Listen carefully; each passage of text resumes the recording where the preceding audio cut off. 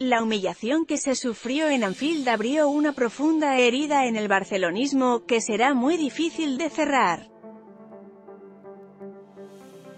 En el viaje de vuelta del equipo a Barcelona ya se pudo constatar que será muy difícil superar el desastre ante el Liverpool, mucho más que la temporada pasada cuando el equipo fue pisoteado en Roma. El convencimiento entre todos es que el equipo había cerrado un fin de ciclo y que era momento de renacer de las cenizas. Para empezar el presidente Josep María Bartomeu apenas cruzó unas parcas palabras con algún jugador, escudándose todo el rato en su vicepresidente, Jordi Cardoner. El dirigente blaugrana saludó a Ernesto Valverde, pero dejaron cualquier debate interno para más adelante.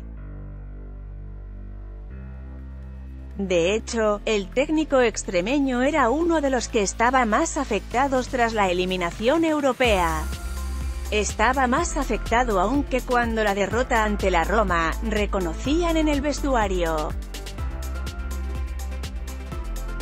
Valverde optó por refugiarse en su segundo, Jonas Piasu, con quien compartió asiento en el vuelo.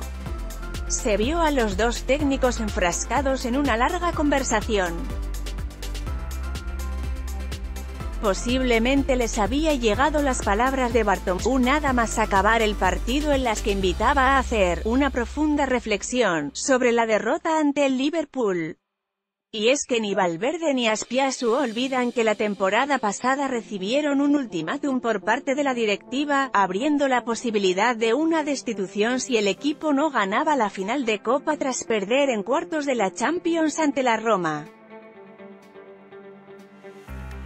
Y, si Bartomeu optó por el silencio y Valverde mostraba su absoluto desconcierto, Leo Messi no podía ocultar su más absoluta indignación.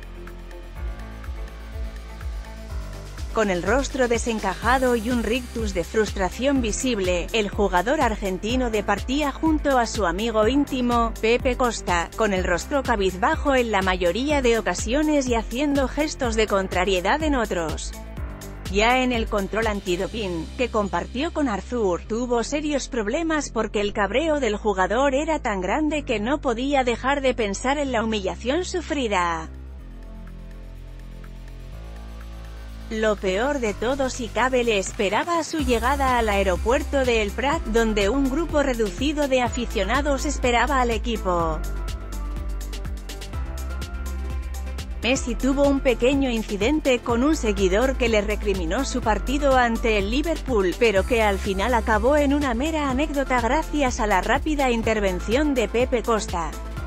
También viajaron junto al equipo los responsables de la dirección deportiva, Pep Segura y Erika Vidal. Nos cuentan que el ninguneo hacia Segura por parte de la mayoría de los jugadores fue casi humillante. En cambio con Avidal sí hubo más sintonía a la hora de los saludos. El viaje de regreso fue el más duro de la temporada con una tensión y desolación en el ambiente que apenas se podía respirar. En el seno de la expedición, que aterrizó al filo de las 5 de la mañana, había la clara sensación que se había finiquitado una etapa y que a partir de la próxima temporada empezaba una nueva. Let's Blockades, Why?